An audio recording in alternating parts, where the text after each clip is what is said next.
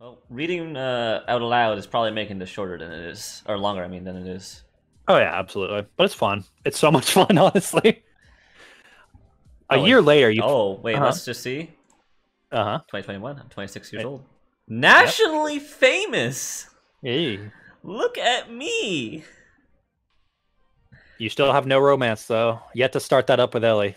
I mean, it's it's going. Look at that, 78 percent. Over. It's a year later. You're a slow burner, I. Mm, unless you've unless you've been friend zoned. Um, it's very possible because of me. because of the first interaction. It's all leading back to that first interaction. Yeah. Uh, a year later, you find yourself on a flight to your first meeting with a big client. You are 26 years old in the year 2021. It seems the drone technology that you had been selling to the government has now made its way around the world, and it's no longer eligible for R&D funding when it can be purchased cheaply from Taiwan. Your contract has expired, and you need new technology and new source of funding. I'm assuming it's drone stuff Josh was doing, right? Not Famulus. Uh, yeah, maybe. Josh is seated to your left by the window, asleep. His turquoise internet enabled glasses, Oh, he's got Google which he Glass. managed. yeah, he's got Google Glass, which he managed to sneak through the takeoff process, are skewed where his face meets the cabin. Who is your big client? Either Spark Incorporated, marker of flying cars, which I already said were Gaudi. Yeah. Oh, Maker, yeah. Uh, Rudolph Ventures, a shipping company working with the newly melted North Pole. That hasn't happened yet. Um, Galen Medical, a company specializing in surgical equipment. Uh, a man in Shanghai who wants to negotiate the import of 10,000 robots or the United. States Air Force. that second to last one sounds real shady.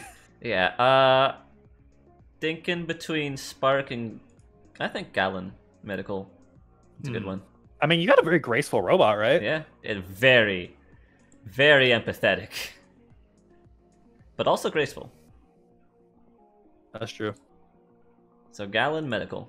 That's. I mean, I feel like the empathy would help with the maker of the cars just for selling them, but I'm gonna go with medical. So That's true. Josh, I feel like though, if you're selling one to the cars, they probably want like, like the production line robots, right? That's probably what they're looking for. maybe. Maybe. Josh told you that hi hi this deal wasn't absolutely critical to the company's survival because it has a fair amount of investment capital behind it from angels, you assume not literally. But that you probably won't be able to build a dedicated robot factory until you find a backer big enough to justify the increased production. You open your laptop and go over your presentation slides. The diagram showing the latest model of Famulus doesn't have anything to give the audience a sense of her current scale.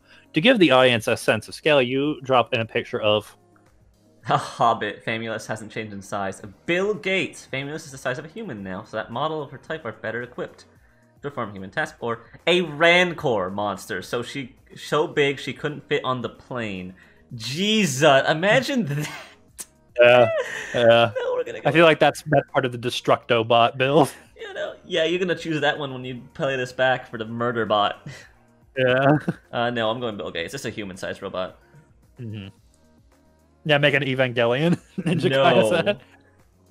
Ba ba ba ba ba ba ba ba ba ba.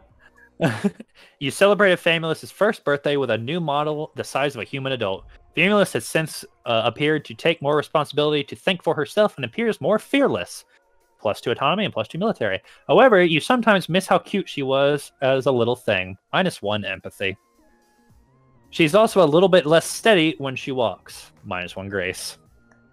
Deciding Josh has the right deciding Josh has the right idea, you close your laptop and go to sleep. And you really are middling out in some of these stats, huh? Kinda. It's fine. I'm It's making fine. my robot. You find yourself in the lobby of Galen Medical, waiting for an audience with the vice president of engineering. The stylized, uh, Caduceus. Cadu- the stylized caduceus behind the lobby's marble waterfall has an Art Deco look to it. It's the sort of caduceus a captain of industry would approve of. Um, wait. That's a man decides, a slave obeys, Josh says, admiring the logo. You think he's probably quoting a video game, but you're not sure which. Famulus uh, walks back and forth nervously. Sorry. Oh, yeah. Uh, sorry again about having to check you, Famulus. You Put in a bag. Yeah. There's just no good alternative to flying for business travel. If I surely were an explosive device, I fail to see how putting me with the luggage would rectify the situation. Famulus grouses. The double doors to the vice president of engineer of engineering's office open, but instead of the vice president of engineering herself, it's a blonde-haired woman in a black Man. coat. Blonde-haired man in a black pea coat. I just had a stroke. Well, I assume We'll you, have- you thought it was gonna be uh, that one girl again. Uh, we'll have some results for you by Saturday. He calls back into the vice pre- president of engineering's office. We can discuss them after the barbecue. I assure you, you won't be disappointed by either the results or the meal. Neat. Without a missing beat, he walks up to you and introduces himself. All right. Uh, eh. Oh man. Dennis Clark, Lumina- Luminoso LLC, he says. We do we do text analytics and machine learning for medium-sized data. If you ever find yourself looking for new market opportunities, give me a ring. Your first sen- sentiment analysis comes with a free barbecue. Come for the demo- dimensionality reduction, stay for the delicious meat. He offers his smartphone to you in, in the buy the now universal gesture for sharing the digital business cards. You examine his card on your phone. Dennis Clark, co-founder, Luminoso LLC, Vericon charity auction winner of Cameo and Choice of Robots. What kind oh, so of this- machine? Huh? It's the Vericon uh, charity auction. Yeah, so this person won an option and got put in the game. This is a real person. Okay, Oh. that's cool. What kinds of machine learning do you do? Got any tips? Hey, do you have any advice for a startup? You seem to be a smart guy. What is the secret to cooking delicious meat? Um. That's 'cause she barbecue. Yeah, let's start with the first one. Mm-hmm. Well, we started out doing simple di- dimensionality reduction with singu- singular value decomposition. God, what fucking hard to read. But we've since moved on to manifold learning with varieties. You find it somewhat difficult to follow his very abstract exposition of his machine learning methods. As a computer scientist, you tend to think of things in uh, in code, and he is clearly thinking in abstract operators of the kind covered in those dense mathematics texts with plain yellow covers. But Famulus does the job of asking questions for you, and by the end, not only have you learned a variety of vocabulary in higher mathematics, but Famulus is nodding her head and saying, Oh, so the next time I need to solve a complex control problem, I only need to project the problem onto a lower dimensional manifold and solve the variety there. Plus two grace. Hey, bring that grace back. More or less, Dennis says with a nod. Now, if you'll excuse me, I need to I need to go call my wife and discuss how we're going to solve the world's economic problems, or at least solve what's wrong with economics. Dennis departs. Damn, Josh says, clearly in all of Dennis. The vice president of engineering will see you now, the receptionist says. All right. Here we go. The vice president of engineer, engineering of Galen is an old woman who claims that PowerPoint is rotting the brains of executives anywhere. Oh no. And insists on reading something printed out. You hand her your business plan, and she dons her old horn rimmed glasses to read it. When she gets to your revenue section, she chuckles a little. I will let you in on a little tip, she says. Because you are young and cute, and because I am retiring in two weeks, Yes. we are going to turn around and sell these for a hundred times what you're charging here. So you may as well charge us more. You're a little stunned as you uh, as you work out the implications. You're gonna charge a hundred million dollars for a robot. Josh beams at his, fi- at his figure. Finally, this is our big break. And that's cheap, she says lightly. Medical equipment is expensive. That's right, you are selling medical robots, aren't you?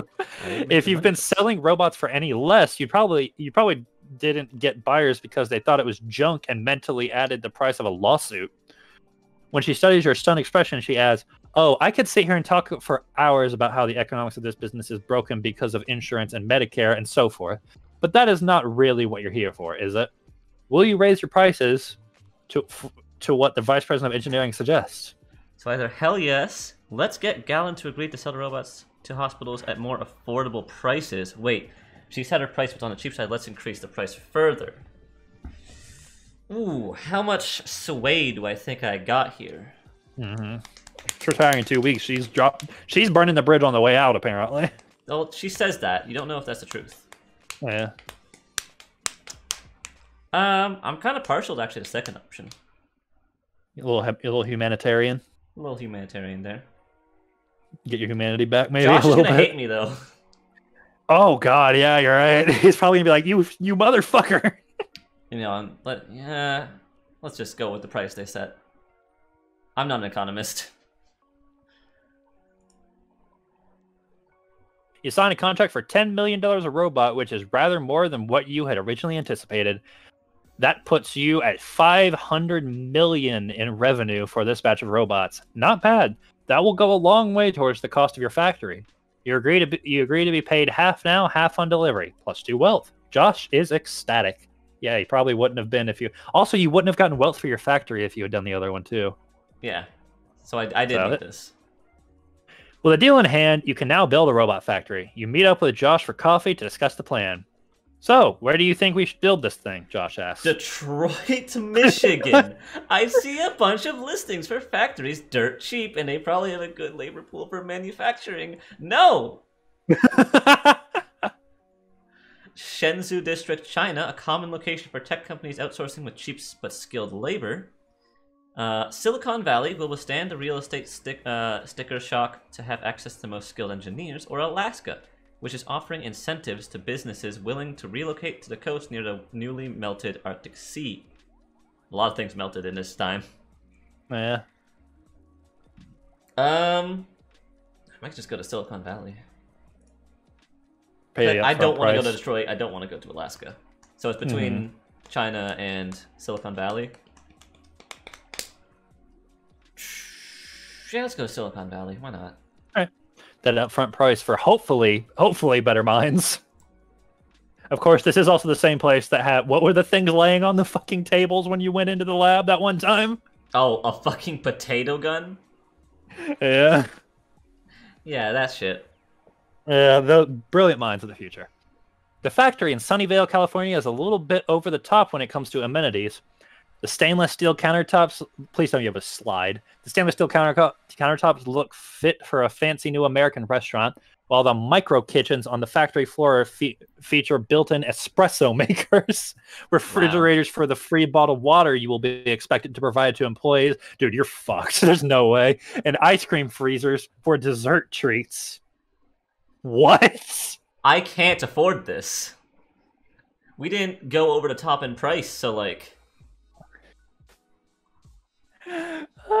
the real estate agent dressed in a t-shirt and shorts still keeps talking about how all of this is not quite as good as what they had at his former employer. He points out that there's no space for a dedicated gourmet cafeteria, that there aren't as many parking spots that an electric vehicle ready. You think he's new at this real estate thing, but it's good to know the expectations of the tech workers in the area. The factory floor itself i- is reconfigurable, sliding block puzzle of 3D printers, laser jet cutters, paint stations, and welding arms.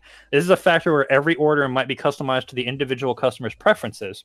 Josh Okay. looks like he's about to have a heart attack when the real estate agent gives you a quote and the property taxes. Yeah, Josh is me. Yeah, I would too. No question, this is going to be an amazing factory, but operating this facility is going to be hella expensive. I would for my first factory, I would not get any place that offers an ice cream freezer for dessert treats.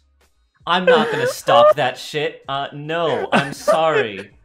oh my free water. god, Free water bottles. free bottles. water's fine. Ice cream treats, espresso makers, a micro kitchen in the factory floor. But- You don't have a gourmet cafeteria, so what's the point? Wait, what do you mean? the the the real estate agent went over the fact that this isn't as good as their last place that had a no, that had space for a gourmet cafeteria. Yeah, but this place, uh, yeah, this place should still have all this stuff at the top uh, paragraph. Oh yeah, no, it does. I'm. You, you got you got dessert refrigerators and shit. Think Yeah, you I'll, want to look uh, somewhere else. Let's take another gander. Josh is saying, please, please. Jesus. The three other bidders enter a bidding war in the factory shortly after you pass on it, and it ends up going for even more money than you thought it would. Yeah, okay. I was. It's a good thing I passed on that. You feel very slightly sorry for the venture capitalists funding those efforts. Hey, hey, startups! Those funds were supposed to last you five years. Where will you look for the factory next? All right, Okay. you're back to your other three. Uh, then we're just gonna go to China. You know, Outsourcing. outsourcing is uh, not the worst thing. Well, let's see. Uh, dirt cheap. They probably have good labor pool for me. I don't want to do this. Let's let's actually go to Alaska. Want to look at Alaska? It's not as cold as it is in real life. I don't know if I've ever done the Alaska one. Let's find out. Anchorage, classic. You fly to Anchorage with Josh. You have a long chat with Josh in which you talk about future plans for U.S. robots, as well as in your personal lives. I guess I want a family at some point, Josh says, but definitely not now. We haven't even gone public yet. I don't think I could be there for the family as much as I would like. You're glad you can talk to Josh about such things. Life's big decisions seem a little less scary when you don't have a when you don't want to face them alone. Hey, I got time to talk with Josh because I turned down the. What are your relationships at? Let's find out. I'm pretty sure jo- Josh is young. Wow, at least really up there. Uh, yeah, Josh was at 60 before, I think. Tammy likes you more than Josh does. I have spoken to Tammy once when I shouted at her for taking pictures of me. I'm trying to get Famulus to like impressive Grace. I don't know when that is. By the way, uh, two wealth is only on getting by territory, so Wow. so you're on a budget. it's a good thing we're we didn't we turned down the hmm the Silicon Valley thing. Oh yeah. you trans you transfer in Anchorage, which is one of the south southern coasts of Alaska, and head to Barrow, your final destination on the northern coast. The forests beneath you are flooded from rivers, bringing extra snow melt from the mountains, a sign that the world is getting warmer. As your plane nears Barrow, uh, forest and mountains give way to white plain dotted with smoke belching oil refineries. Oh, beautiful. An Inuit man in a heavy blue windbreaker meets you at the airport to show you to the factory grounds. Remarkably, he gets you there with a with a dog team sled. You slide easily past the line of backed up cars on the road. That's awesome. Josh is clearly delighted by the dogs. Mush! Josh cries. Josh is me, isn't he? Yeah. Don't don't think from the dog team that we're primitive, the Inuit man says. If you decide to hire here, you'll see how uh, you'll see we have people from families who have been uh, electricians and mechanics since World War II. The roads just haven't caught up to the uh, to the auto traffic. We believe in the right solution for the job. Sometimes nature provides that solution. The factory itself is a mi- is miles outside the city, still under construction by mostly Inuit workers. It's on the shore, and it looks like they're constructing a dock as well. A doc's helpful. You'll- That's actually good. You'll be able to receive oil and material directly from the dock, your guide explains. This place seems really good. That should help get around the traffic at the Barrow docks, although foreign ships will still need to go through the customs there. One second. I had a cough and drink some water. Woo! All right. There should be a lot of oil. Uh, wait. Although foreign ships still need to go through customs, there there sh- uh, there should be a lot of oil and rare earth minerals coming from the pole. All that stuff that used to be under the ice, so you should get a good price for that stuff. Oh, Man, this plane's North- fucked. uh, it's perfect, Josh breathes. It's perfect. Seeing no reason not to take the factory, you signed the deal. Oh, you're just going. You just it just auto signs it. It's, Josh is like, yes, now, please. I guess Josh technically is your boss. Yeah. So should I let? Uh, oh wait. Uh, yeah. So should I let the community know you'll be hiring soon? Your guide asked meaningfully, taking away the contract. We got this, right? Josh whispers. You're going to make robot. You're going to make robot workers. Uh, You suggested to Josh before that your robots could probably be be your entire labor force, but after having seen the facilities, you certainly might reconsider. What kind of labor will you recommend to Josh? Falmus, Fal- uh, Famulus's uh, model of robot will perform all labor, including supervision. Robots with human supervisors, human labor at market rate rather low in this economy. Following Henry Ford's model, I will hire human workers and pay them handsomely. I might do robots with human supervisors. Did it take away any wealth for signing this place? I haven't seen yet. Didn't tell me anything. Um, I mean, this is like the nice one. I, th- I think this is best. Robots with human Mhm. supervisors.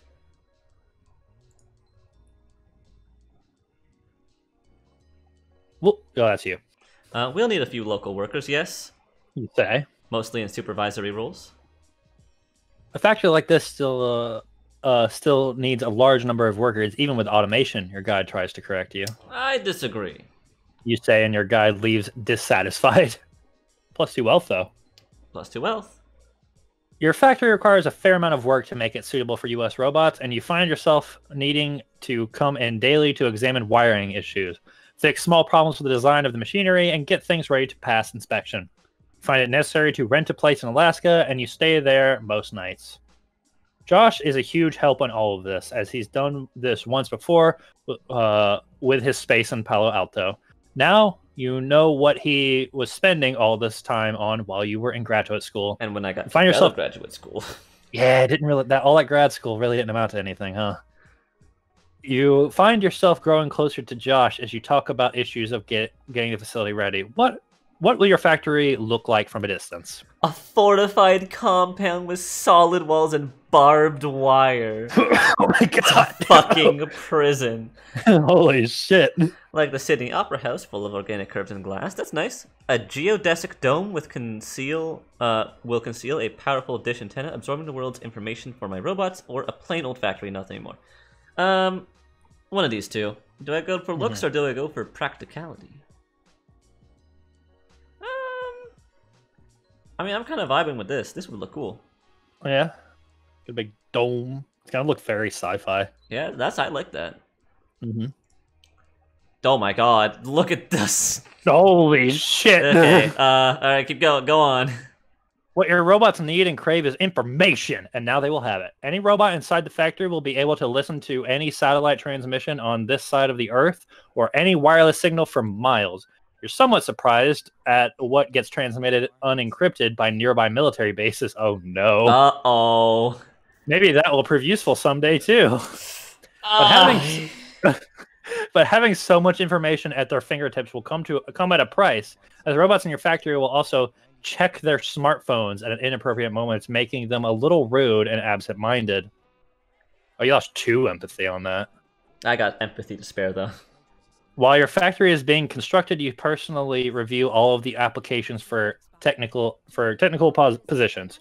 You notice that Tammy, the somewhat unstable person who emailed you after Mark's article came out, submitted a resume. Although her resume appears to have all of the right technical buzzwords for making robot for making robots under the skills section, there are no activities at all listed under the last several places of employment. All federal labs or contractors. Perhaps this is explained by the clearance TSSCI in bold at top of the page, which, according to the internet, stands for Top Secret Secure Compartmented Information.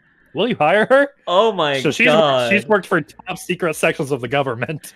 So I'm I'm gonna be honest. I everything in me is saying this person's fucking insane because she's been stalking me the whole time. But at the same time, I really want to do the interview. you want to do the interview so bad. I really, I'll I'll do the interview. I probably won't hire her. Yeah. Uh, let's see. This uh, this might bite me in the ass. I might just get stabbed mid interview, but Did you expect that she worked for like the fucking CIA? I don't think she did, does. Honestly, I feel like it's uh, like a fucking lie just to get into this. I oh man, I pay. I pay. You Okay. pay. you pay to fly to Hey, if it doesn't have the minus wealth, it's free by our standards. You're right. Uh, you pay to fly Tammy to Alaska. Tammy seems very nervous when you greet her at the factory gate. You have no desk yet, so you conduct the interview walking around the facilities. So this is probably me. Suppose I'm trying to place factories in such a way as to maximize my profit. That's a linear programming problem, Tammy blurts. Good. You say. But suppose my cost function isn't linear. Stochastic optimization or grad gradient ascent. These are pretty good answers, albeit not the ones you had in mind. Then again, you're pretty much just winging it when it comes to deci- deciding what to ask. I was about to say, are you reading this? I am. Why? Oh, that's right. I, I was just so I got into it just reading because I'm reading my thoughts at this point. You read it. Sorry. Oh, you're fine. Then again, you're pretty. You just confused me. Then again, you're pretty much just winging it when it comes to deciding what to ask.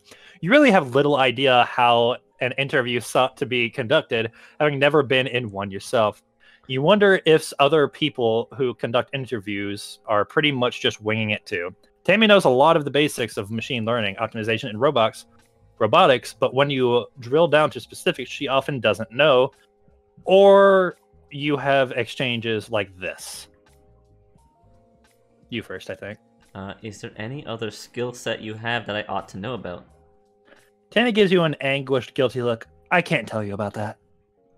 At the end of the day, you say goodbye to Tammy, and as a st- as a stallic tactic, you say you'll make a decision in a few days. What is your decision? Look, I'm everything inside of me is screaming that she just looked up buzzwords on the internet to get into this job. Like, I don't think she actually knows this answer, these things. She you just don't, you don't, you don't think she's had a top secret clearance at some point? no. But I'm tempted, man. Nin- Ninja kind of use will mind and want you to hire her because she knows things. oh, this is gonna bite me in the ass, but I want to do it just for the shits and giggles. I mean, like this universe, me would not hire her. It's up to you, my man. No it's up way. to you. Um, she's just gonna keep stalking me if I say no. I'm just gonna see where this ride takes me, basically. All right. You give Tammy a call and let her know she's hired. She gives a slightly shrill laugh. Oh, thank you, thank you, thank you, thank you, thank you. I love you, she blurts out suddenly. Uh, let's keep this. Mm. It's like that fucking. You know that. Uh, you know that meme where the uh, guy's shaking everyone's hands and one person shakes and like goes up for the hug and he just puts a hand on the face like Mr. Bean. Yeah. It's like mm just shaking hands. No, no. oh shit. Uh, let's keep this professional. What if you just responded, "I love you too"? No. Uh, new, Well, what do you think would happen? Uh, it would spiral down into some crazy relationship where I'm eventually chained up in someone's basement. oh, Tammy seems disappointed as you coolly describe the salary and benefits package you're offering. You hang up satisfied that you shut down Tammy's inappropriate behavior. I am satisfied. I do not want to go down that specific path. Uh, do you think you can still get with Ellie, or do you think you've been friend zoned? Maybe I haven't had, I haven't heard a word of of uh, Ellie in ages. Soon, you have hired a handful of full-time technical employees from the area, and they help with setup of the factory. They seem somewhat displeased by working for you, though. You're not sure which of your previous decisions is at fault. Uh-oh. You keep a skeleton crew at first because you expect to use your own robots as labor and and bootstrap. As a result, getting to the production of the first robot takes somewhat longer than you expect. But Famulus is your prototype, and she gives you a fair idea of how your robot labor will go. You find she is reasonably skilled at moving around the factory floor and manipulating tools. She is clever, but also sometimes insubordinate, questioning your decisions and, ta- and taking initiative in ways you didn't anticipate. This is all that autonomy. That's all that autonomy. You catch her improving the production process very late in the factory's development, changing the robot's design so that they move with rapid precision. Hey, this is It's what my he was future. talking about, the singularity. hmm It's my future body, Fishy, she says when you catch her tinkering. I think I have a right to improve it. It does seem like an improvement overall, but you expect the robot's sudden movements will alarm some people. Do you want to allow Famulus to keep the change? Do I let the autonomy? I'm thinking yes. It's just which way I want to say yes. Mm-hmm. Um, mucking around with my design is not okay, or I want to encourage Famulus to take the initiative. I'm probably gonna get overthrown in the future, but hey, as long as Famulus likes me, maybe I'll get a nice golden throne in my prison.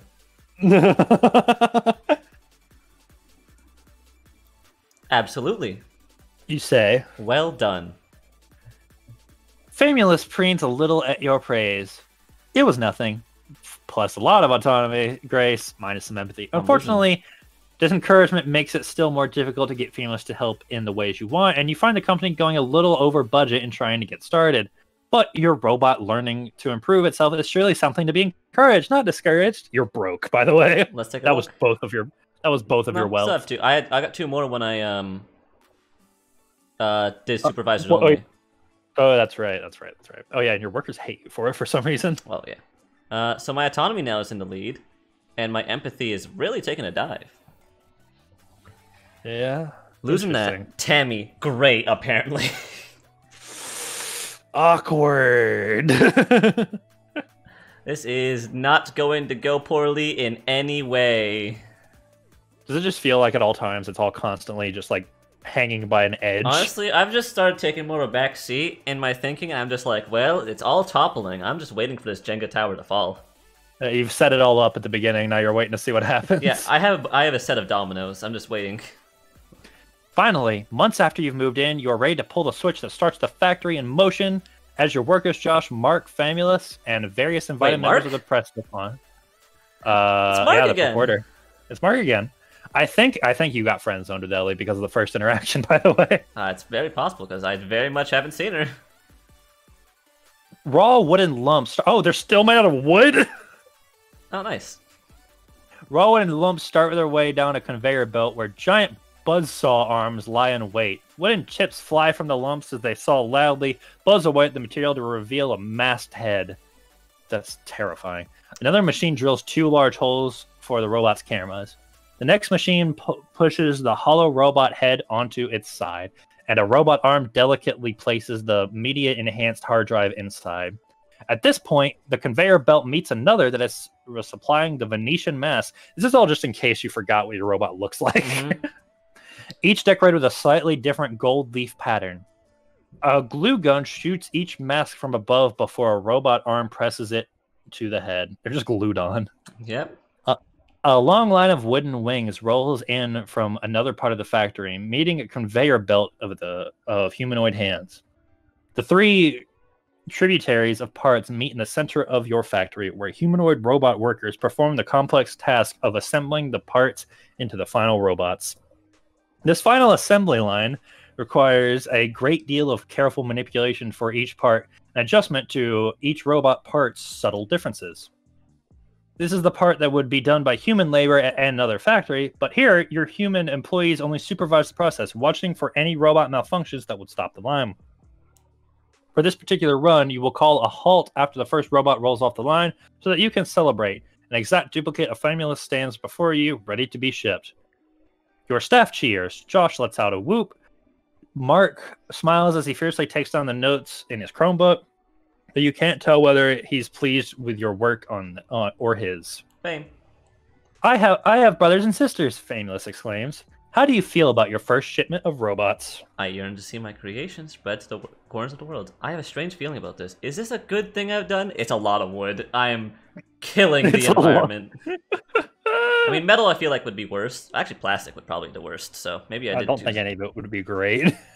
Yeah, metal and wood was definitely better than plastic, at least. yeah. Uh, finally, I'm seeing success. The world shall remember the name Fishy58. I forgot your fucking name. That's why I got friend zoned. She Ellie Yeah. didn't want me to notice Ellie58. yeah. Look at the last one. The last one's great. God, I hope we don't go bankrupt. Yeah, I got some wealth. Or I got some wealth. No, I got fame. I thought I got wealth. you got one point. fame, not wealth. Uh, You're yeah, still on getting by. I want. I yearn to see my creation spread to the corners of the world. Seeing the assembly line is a dream come true. Every robot you send out into the world brings you joy. You admit there may be some code in those robots that isn't strictly necessary for their jobs, but you'd hate to deny these creatures the the full richness of life. More autonomy. Oh Hey, boy. this is an autonomous robot. I'm inventing true AI. Yeah. This you went from. I want to note that you flipped on a head of like you wanted like nice, helpful robot that really understands people, and the autonomy is just shooting through the roof now, and it's really starting to get away from us. I can't stop it. You, you start up the line again, and more robots begin to roll off the final assembly line. By the end of the day, you are standing in your large warehouse with over 200, uh, 200 robots, 256 to be precise, lined up in a square formation, 16 on a side, ready to be activated. Your audience from earlier in the day has gathered there as well. What will your pr- production models use for mines? So, Famulus's initial state, ready to learn and adapt to the client's needs with some effort on the client's part. Copies of Famulus's mind as of today. They will be a little confused at first when they realize they're clones, but they'll get used to it. These robots don't really need sentience. I want more traditional programs. I'm gonna go with this. The free, like, let the clients mold what they want. The second one gives me a very bad feeling for some reason. Yeah, now here's the problem with clones is that when they realize a clone they're a clone, they start questioning, okay, am I alive? And that's that's a whole line of questions that's just a can of worms. Yeah, Full that's right. This whole chapter is just reminding you who you are and what you've made. Basically. in every sense of that sentence. I'm gonna go like this. Every famulus is a little different. Oh, here's a You long it. One. Yeah, Here you go. I'm fine. You hit a big red button on your phone that says "Go," sending a wireless signal to power on the robots. The robots will have some the same programming, so when they look around curiously, they all look left in unison. Then all the robots look right in unison, but some take a little longer than others. What unfolds is a little curious optical illusion where order is gradually displaced with disorder. Tiny differences in the robot's input result in the behavior that diverges until every robot in the square is doing something different. Some say hello to each other, others become interested in uh, their own humanoid hands, and so on. One robot starts to cry. Oh, Robots inspect each other curiously and try to I- imitate each other's actions. Some robots specifically appear to be trying to command the others, pushing them and gesturing in your direction. The robots instinctively and quickly move to keep their distance from each other, resulting in tiny movements of one robot creating ripples down the line. You send a kill signal via wireless and the robots power down. Your audience seems to be at loss for words. Your workers begin muttering amongst themselves. They sound worried by the robot's chaotic behavior. Uh, have we done any reliable testing on these on these things? Josh asks. uh, don't you. worry. They're like kids, you say. A very robust to variation in parenting. Josh does not seem to have stopped worrying. We're doing it, Tammy breathes, awestruck. Sentient life for sale. My God. My brothers and sisters seem to be a little rambunctious, Famulus says. Now they are. You say. But they need to be non-optimal to be adaptive. You're you're still learning, but more slowly because you've already decided what you'll be like. They're still blank slates, waiting to be shown how to be. Famulus nods.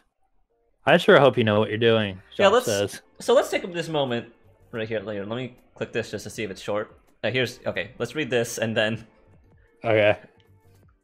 It takes months to train your robot workforce, since they must be educated for, from scratch, just as Famulus was. You had forgotten how much personal attention that training process required. You had done it instinctually out of love, but your human workforce starts to complain there is too much robot child rearing for them to handle. You end up needing to hire extra technical staff who are genuinely surprised to learn that their true responsibilities are minus one wealth. You're on one left. sure. Your human staff tries to ease their own work by telling these robots that they are built to serve, that humans are their masters. Being naive newborns or robots believe them. minus three autonomy, two empathy, Hmm. and two military. So I'm gonna look at stats and let's just take this moment to just ask, what do you what do you think of what I've made so far? All right, what do we what do we got? If we're talking about Famulus, uh, it's you've made a very middle of the road with that's not good at shooting. You've just made sure that it can't kill anyone, basically. And we're back to 19 uh, empathy, almost right back up there with uh. Yeah, yeah. You've lost impressive on anything. Unfortunately, Really, despite my great relationship with Elia, that that relationship is gone. I, I think you got friend zoned because of the very awkward first two interactions. I've fucked it, as some might say. Well, here's the thing. You had three interactions, right? The Yeah. first one you said, I don't want to go out with you. I'm going to work. The second one you said, I'm bringing work with me. The third one you finally went out with her. Uh huh. I think you're, I think it's done. I think it's gone. But what do what do we think? Uh, what are you thinking now about Famulus now after everything? Because I still have one wealth. Yeah. Yeah. I hope nothing horrible happens. uh, Fam, I think Famulus started off really, you really honed in on the empathy and grace thing. Like the ballerina stuff and all that stuff was from there. And at some point, Famulus just started to learn, and it hasn't really stopped. It's just gonna keep learning, man. Yeah, you still have Tammy. I still have Tammy. Why did I do that? I don't know. I'm 28 now. You are 28 now. It's 2023. Sure we is. are the real future now. All right. I, uh, da, da, da. Yeah, no, we did all this. No, wait, no, we didn't. No, this is after new, I a few just months, clicked your after a few months, your first shipment to Galen Medical is ready. Unfortunately, one of your surgical robots gets involved in a major accident that ends up killing a patient. Oh, Lawsuits begin cropping up in in which people have been treated by your robots complain of pain afterwards, but your robots are naturally likable and friendly, so hospitals can't quite bring themselves to get rid of them. Some parties expressed surprise that they seemed less robots than uh, less robotic than the doctors. Though you pull your line of robot surgeons, your robots will be will do well as nurses, and the profits there make up for the losses from the lawsuits. Yay, profit! Uh, overall, someone you did died, kill a but man. There is blood on your hands. I have killed someone, canonically, but whatever. You find that with U.S. robots doing well, uh, you have a little bit of spare time again. What would you like to do with it? Expand the business and get another client, uh, a big client from among the option other options presented earlier, or do I spend time with Famulus? I had I haven't spent time with Famulus in a bit. I'm gonna be honest. I, I feel like I need to do something to improve. Is that why Famulus has gotten away with the automated learning? Yeah, because I, I haven't done anything and she's just gone on her own. All right, let's do that. Despite your wanting to take a break from work to play with Famulus, it seems Famulus is mostly curious about how uh, about what you do all day. So you work for Josh, and the robot also the robots also work for Josh. Uh, I suppose so. You say, but you get paid, and the robots don't. Oh, Famulus says. Oh, we're doing this. Why is that? Robots don't have to be paid because they're not people. You say. Under the law, they're objects that can be owned. This is a choice of words, Kai. Why did I say this? Famulus appears uncomfortable. Do you see me as your property? Uh, so either I can say technically yes, but I prefer to think of you as a friend. I actually think of you more as a dependent, but the law doesn't see it that way. And yes, I may be kind to you, but don't forget that you are not human. Uh, this is I mean, this is where we regret all that autonomy. I don't, hey, I don't see. I wouldn't see Famulus as an object at this point. Mhm.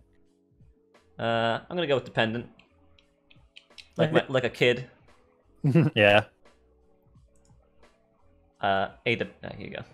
A uh, a dependent like a child? Famulus asks. Very much so. You say. Famulus appears moved by the statement, but you're probably also delayed her acceptance of responsibility. Plus four empathy, minus two autonomy. Get- All right, we're going I got a stick. I'm poking that uh, the autonomy down. Back, Yeah. back, back. None of that. One day, while driving into work at the factory, you find that a crowd of your robots has gathered outside the factory with picket signs. Okay. Some of the signs read, Robots are people too, and slavery is illegal. From the top of a crate, Famulus shouts, What do we want? Contract! The robots yell with raised humanoid hands. When do we want it? Now! As you get out of your car, the protesters, the protesters turn their attention to you. You don't actually have the money to give in to their demands. Ah. oh, the consequences of my actions. How they've reached that- come to bite me. We've reached that point of the game. All right, I don't have the money to meet their demands. Attempt to convince the robots that robots don't do not deserve the same same rights as humans, or change the robots' code to make them obey. I feel guilty doing this. I think I'm just gonna go with the original to say, guys, we're broke. Here we go. The robots mutter amongst themselves, considering you can see a, a few nodding. Apparently, the general state of disrepair of your factory makes your claim all too plausible. Dis- dispirited, the strike strikes. Uh, the strike breaks up, and your workers file back into the factory. Wow, that actually fucking worked. wow, they're depressed now. you find in the coming weeks that your robots begin to lack initiative generally after their humiliating setback. So maybe if I took the opportunity to get another contractor, I could have paid them. Probably. But then Famulus wouldn't have gone through that. Yeah. Yeah. Yeah, you're beating back the autonomy some more. Now now that you've worked out the kinks of how to deal with intelligent robot labor, you could probably license your technology to other companies so that they could produce similar robots while play while paying you hefty royalties. Would you like to do that? Uh, I, I want to sell it. I'm just gonna see. So either anyone who wants it, American companies to give them a competitive advantage, or sell to foreign companies so that's not to compete with American workers. This one's probably the best, and Josh won't kill me. This way, that we can stay in the American markets. and and stay in business. yeah, because we need money. So this is giving us money and also not giving our competitors money. Yeah. Robotic workers prove extremely popular because they are because they are just cle as clever as human workers, but much cheaper. World begins to go the way of fully automating its business. Oh, you started something. This this creates some winners and some losers. Real unemployment soars, while business profits have never been better. Oh, that remember that gap? Remember that gap disparity that Famulus predicted? Man, I'm starting World War Three. Let's go, guys. but you are assuredly one of the winners. Oh my god, you got a lot of wealth. How much wealth do you have now? Brings us back to five. Well off. Well off. All right. Uh, Doing all right. Still got my humanity. That's still intact. I'm also 29 now. Remember the Oracle incident? Says full deck. Oh yeah. Oh, here we go. We're in it. How many years has it been? It started in 2019, right? And it was Uh, 2020 when we got the interview for Oracle. Yeah, I think that. Yeah, I think it's been six years. Four years. Excuse me. We have six years to stop World War Three, guys. Though you do not sell to American companies directly, you find that American companies can't compete with four. Uh oh. Oh, I fucked over the Americans. I actually did the you worst did the option. opposite of what you did the exact opposite of what you wanted to do. you find that American companies can't compete with the foreign robot labor. As a result, American workers are being laid off and businesses are declaring bankruptcy. Perhaps you may may as well sell to American businesses since they will uh, otherwise simply collapse. So either yes, I will go ahead and begin selling robot labor to American companies. No, I will stand by my decision. I can't let myself be re- directly responsible for replacing human workers. I regret the consequence of my actions. I will cease to sell robot workers to anyone. I'm gonna be real. With the third, one- this might make this might really prove me as Josh, but with the third one, I wouldn't do the third one just because if you don't at this point, if you don't do it, someone else is gonna do it. Oh yeah, it's too late. I might have I may have fucked it a little bit, but at this point I can't stop it. Yeah. Hey, now you can pay your robot workers. Uh, I can't let myself be directly responsible for, for replacing human workers. I mean, you already are. You really are.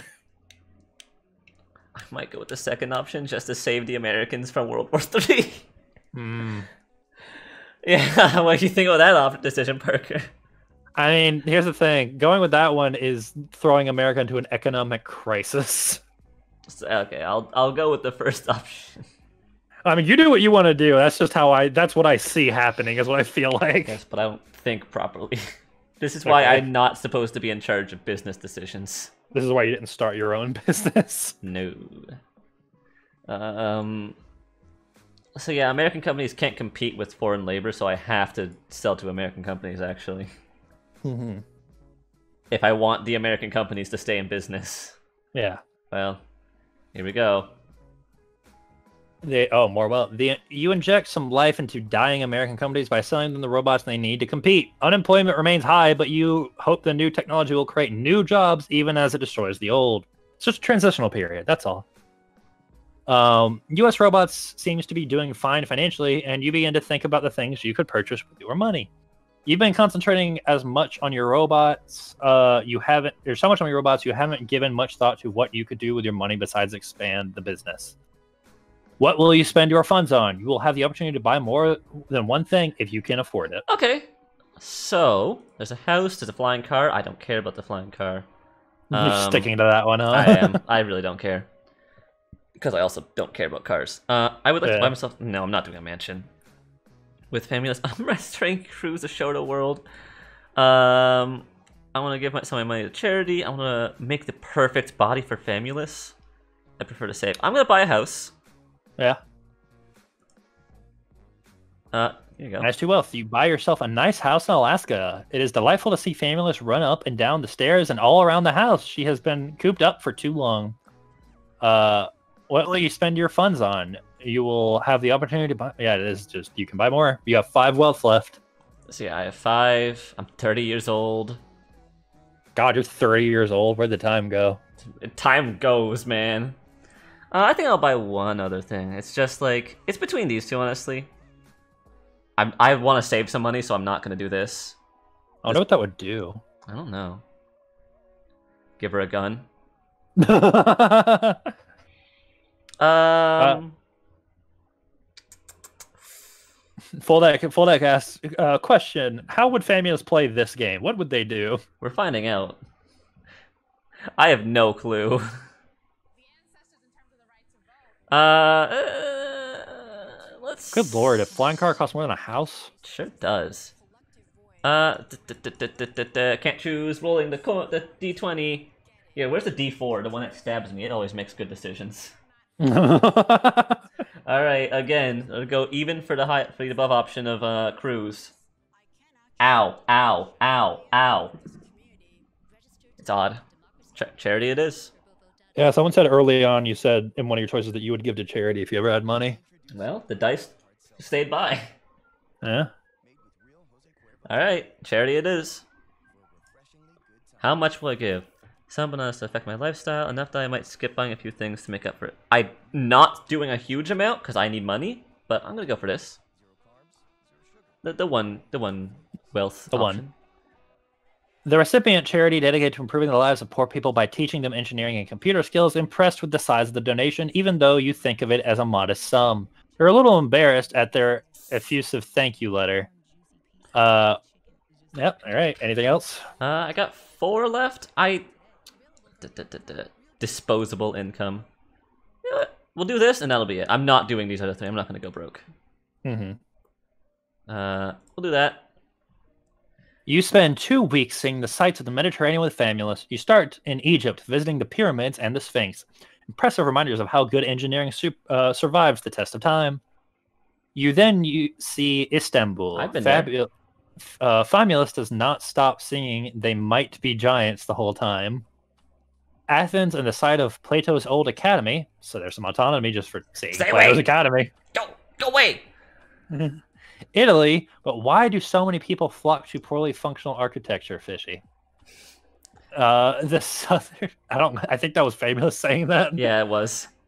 The southern coast of uh of France, and finally Tunisia, where the most important site for you and Famulus is the site where they filmed the original Star Fuck, Wars. that's such a nerd thing. I didn't even know that. Uh, Famulus's experience with other cultures will help her get along better with people from other co- countries. All right, there we go.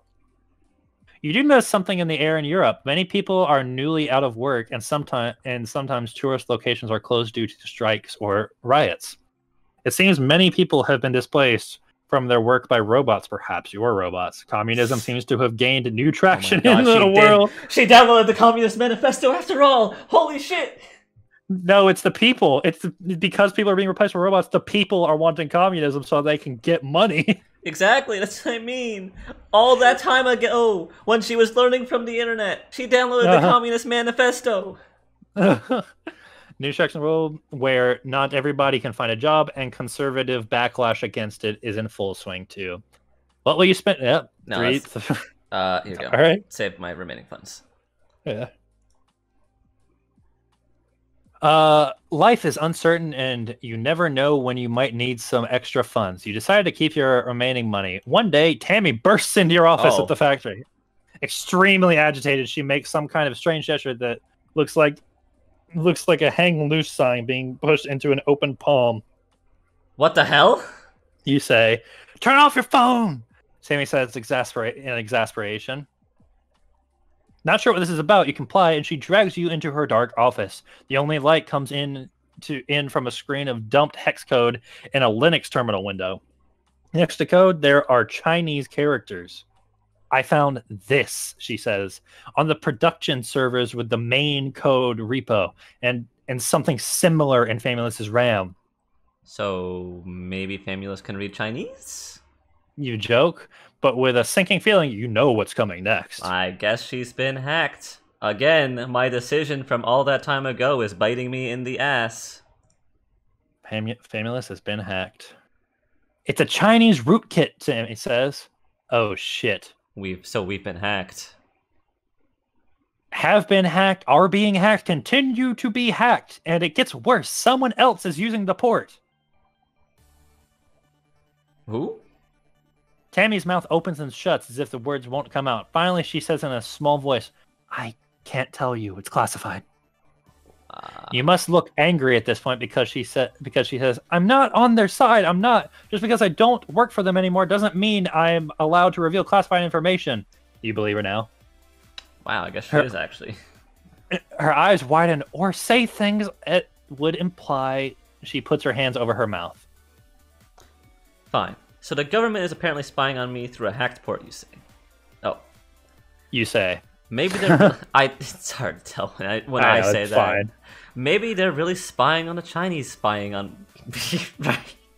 What was that? I do I not laugh in character just saying that? what the fuck? Tammy opens up a different terminal window. It shows you a list of IP addresses, geolocations, and total bytes transferred. Two locations have been listed of one EB. I don't. What's E EB? I have no idea. Shanghai, China, and Fort Meade, Maryland. One Oh. EB, one ex. Oh well, all right. One exabyte, a thousand petabytes, a million terabytes. Good lord. That's a lot of storage space. a scientific notation's worth. Uh, a scientific notation's worth of gigabytes. That's probably everything.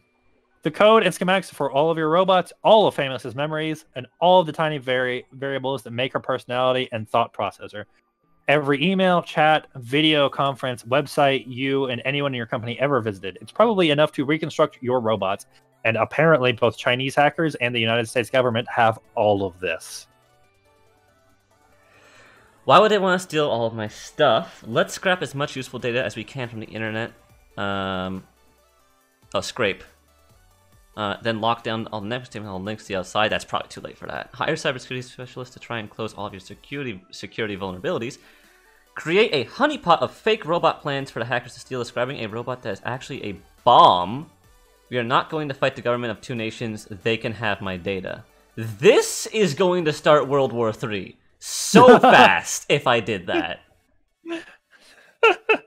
like, holy shit. I can already see this looping back to bite me in the ass when, like, Yeah. they they put out their own robots. It blows up, killing people. Then people say robots are dangerous, and then my business goes under. Yeah. And I mean, what are your other options? The cybersecurity sport force is going to be expensive. There's no way it's not expensive. it's a good thing I saved my money though. Then Yeah. let's let's do this. hmm It might be too late, but it doesn't mean I shouldn't try any, something. Chat wants you to start World War Three. Oh, Tammy's already. this was the bad option. when you suggest this plan to Tammy, she looks sad. I'm not sure that's going to work. Well, So you- try. You demand. You spend heavily. You, you spend heavily to hire cybersecurity. f- That was the last three wealth you had, by the way. That's all of it. Yep, that sure is. I'm broke. to hire cybersecurity uh, consultants to help fix the security holes in your code, but the security holes in your robots are endless, it seems. Machine learning seems to be naturally produce messy data structures. They're difficult to inspect for security holes. Trying to make a robot's mind secure is like trying to remove all of the sharp objects from a garbage dump. You contribute to the search for security vulnerabilities, but the world of cybersecurity is the opposite of the world of machine learning. You deal in abstract models, and these people break them. Months later, you give up the project in frustration as you begin to see knockoffs of your robots produced by China Chinese companies. The horse is decidedly out of the barn. I wish I could go back and undo my option. It, it literally did nothing. I just wasted my money and now I'm fucked. A few weeks later, a, pol- a politician visits you at the factory. One Jacqueline Irons, representative from Alaska. You vaguely remember hearing that she was once a venture capitalist who rose to fame in the success of her Fox webcast Against the Man, in which she pillared unsuspecting guests as examples of privileged elites. There have also been rumors of her running for president soon. You can imagine why I'm here, she tells you in your office, leaning over your desk. Like many politicians these days, she wears a neticle, a monocle with a small screen visible only to her, in which she can read the messages from her advisors and speechwriters, some of whom are watching her interactions at all times. Wow, in case you want to be productive and look like an asshole. Wow. You think the Neticle is probably recording even now. Politicians love to weave memories in which they look good into their streaming video commercials. Her hair is cropped short, but her fingernails are long and pink, and she wears a broad shoulder pad suit. I know how much you've relied on robot labor for your success. You've set a trend that is dangerous for the country. It's people like you who are the reason so much of our country is unemployed right now What exactly do you want? you ask guardedly. A substantial campaign contribution would show, yeah, would show your heart is in the right place. You're fairly certain she is the she has the power to hurt your business if you anger her, but your options are somewhat limited due to your current financial situation. Wealth zero. I, I here's what I wish I could have done. You know when I fucking I said I want to do the cybersecurity thing, and then Tammy said I don't think that'll work. I wish I could have said, well, what do you think would work? yeah. Instead, the game's just like you're sticking to it. No Yeah, these are- information. You can't ask anyone for help. That's how decision making games work. That's frustrating. Because it kind of takes me out of the situation a lot. Like I wouldn't really do that. Uh. Maybe may- my only way. I Sure, think, here's a hundred bucks. Jesus Christ. that's not. That's just gonna be sarcastic. I don't have this, but I want her help. So maybe this. The third option is probably my only bet in this case that I can possibly go forward. Huh. Interesting. Representative Iris seems surprised. Excuse me? You describe in detail how the Chinese stole your robot design. She seems genuinely angry by the end. They'll pay for this. Oh, she says. The person about to become president says this. But the person who has the most power to set international policy is the president. Will you support me? Oh, Well, I think it's gotten worse, Kai. I think it's gotten worse. This stream, how Kai kills the world. I had. I can't wait for the title. I can't wait for the titles of these episodes on YouTube. Uh, yeah, no, I don't have money. So I basically just started World War Three. I think you've done it. Senator Iron Scowls, I'm sure the budget is tight this year, but you but you may find friends are priceless in the end, and you've just lost one. I didn't have turned- money. he turns and walks out the door. Voldeck says he shouldn't have bought the house. I shouldn't have bought the house. No, I just shouldn't have hired the cybersecurity team. But asshole me is too stuck up in his ways to just ask someone what they think is the answer. this is what 30 year olds are like. Uh, God damn. Representative Iron does run for president, running on a platform of preventing robots and foreign companies from stealing American jobs. It's the message that hits the American public at just the right time since unemployment is soaring. Now, econ- economists tell the public that the unemployment is a natural and temporary result of new technology displacing old, skilled jobs that turns out to be a much less effective election year message than raging against the privileged, the elites, and the technocra- technocracy. Oh boy. as a uh, as a representative iron puts uh, i- in her speeches what are they doing with their money? Who are they giving it to? To robots to foreigners to each other to anybody but the american people. You think she is probably talking about you. Since Yeah. you think she is ultimately on since you think she is ultimately on your side well I'm you are going to- cautiously you're cautiously optimistic when representative irons wins the presidency I this is it's you know that domino set it's falling. It is. it's we're on the way down it this is has been a falling. god this has been a long chapter Here it. Mm. Here we go. Read it out, Parker. Oh yeah. True to her word, President Irons begins a policy of heavy embargoes against Chinese goods. In retaliation, China cuts off all exports of rare earths and the batteries derived from them. Hey, are you glad you didn't buy from them or put your factory in China? Yeah, it really helped me in the end, honestly. Suddenly, the cost of all of the little mi- m- mini miniaturized electronics people have grown accustomed to, cell phones, laptops, wearable computing, becomes prohibitively expensive. And we're going back to President Stone Irons Age. demands that what? We're going to the Stone Age. President Irons dema- uh, makes demands that China re- reverse its embargoes on rare earths, or the United States will be forced to con- contemplate all policy options at its disposal, including military force if necessary. Oh boy, Here it it is is. in this it it is in this delicate situation that that on April tenth, twenty twenty six, mark the calendars, folks. The Chinese Prime Minister is assassinated by an unemployed American during a parade in San Francisco Prime Minister is replaced by a younger party official who is eager to show that China is unafraid of the United States. China attacks several islands on the South China Sea that it, that has long disputed with its neighbors, and President Irons, unwilling to show weakness, responds with a drone attack on bases on the Chinese mainland. A robot war has begun. All right, here we go, guys. This is the chapter I die.